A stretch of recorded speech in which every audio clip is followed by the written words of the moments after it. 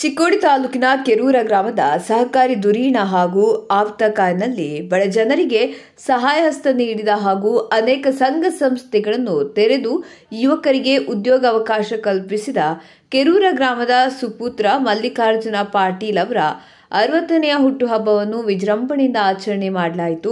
ಈ ಸಂದರ್ಭದಲ್ಲಿ ಅತಿಥಿಯಾಗಿ ಆಗಮಿಸಿದ ದ್ರಾಕ್ಷರಸ ಮಂಡಳಿಯ ಮಾಜಿ ಅಧ್ಯಕ್ಷರಾದ ರವೀಂದ್ರ ಮಿರ್ಜೆ ಮಾತನಾಡಿ ಕೆರೂರ ಗ್ರಾಮದಲ್ಲಿ ಮಲ್ಲಿಕಾರ್ಜುನ ಪಾಟೀಲರು ಶೈಕ್ಷಣಿಕ, ಧಾರ್ಮಿಕ, ಸಾಮಾಜಿಕ ಹಾಗೂ ರಾಜಕೀಯ ರಂಗದಲ್ಲಿ ಮಾಡಿರೋ ಸೇವೆ ಅತ್ಯಮೂಲ್ಯವಾದದ್ದು. ಅವರು ಪ್ರತಿ ವರ್ಷ ಹುಟ್ಟುಹಬ್ಬದ ನಿಮಿತ್ತವಾಗಿ ಶಾಲಾ, ಕಾಲೇಜುಗಳಿಗೆ ಕ್ರೀಡಾ ಸಾಮಗ್ರಿಗಳ ವಿತರಣೆ ಅರ್ಹ ವಿದ್ಯಾರ್ಥಿಗಳಿಗೆ ಸನ್ಮಾನ ಸೇರಿದಂತೆ ವಿವಿಧ ಕಾರ್ಯಕ್ರಮಗಳನ್ನು ಹಮ್ಮಿಕೊಂಡು ವಿಶಿಷ್ಟವಾಗಿ ಹುಟ್ಟುಹಬ್ಬವನ್ನು ಆಚರಿಸುತ್ತಾರೆ ಎಂದು ಅವರಿಗೆ ಅಭಿನಂದಿಸಿದರು.